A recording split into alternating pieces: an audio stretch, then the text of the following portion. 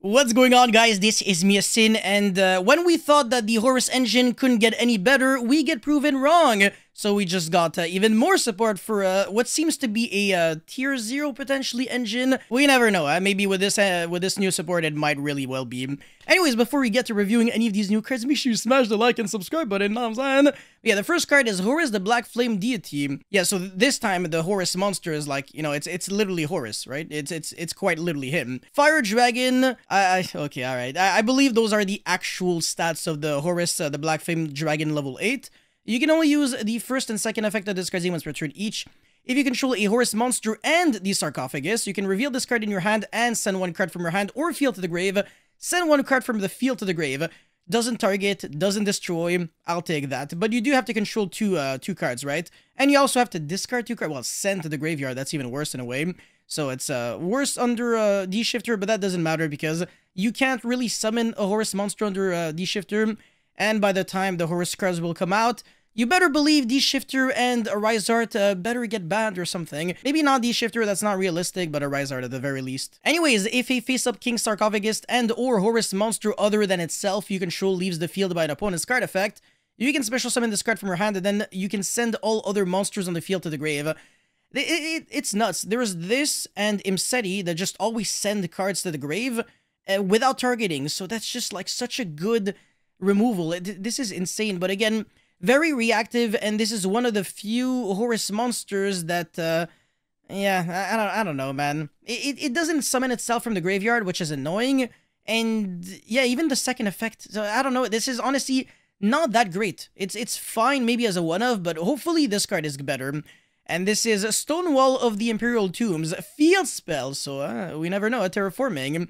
You can only use the second effect of this card's name once per turn. This card name, this card's name becomes King Sarcophagus while in the field zone. This is already good enough because it means that now you have more ways of being able to revive back all of your Horus monsters.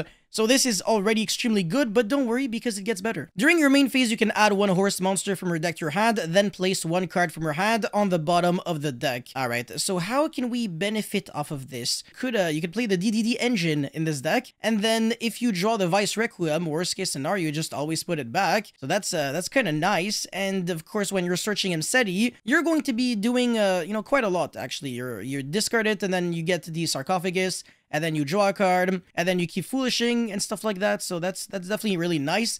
But this card is not like a free plus one, right? Because you search and then you place one. Uh, it's, it's pretty much like the Tri-Brigade Link to monsters, the Rinbrum or something. Oh, Bearbrumm, what the hell? Rinbrum is another card. And uh, the, the Ferrijit. You're really just going one for one. But anyways, if you activate the effect of Horus the Black Flame Deity, you can draw one card. So that's if you activate any of the effects of the uh, Horus the Black Flame Deity. And the nice part about that is that, uh, yeah, it's actually not too bad because at least you're always negging with the effect of the Horus monsters, but you're also recurring back a little bit of, of advantage with the uh, third effect, uh, which you can technically tr trigger twice because you're going to have um, this first effect and then the second effect. So it's twice on your own turn, maybe twice on your opponent's turn, but it's kind of, um, again, a little unrealistic.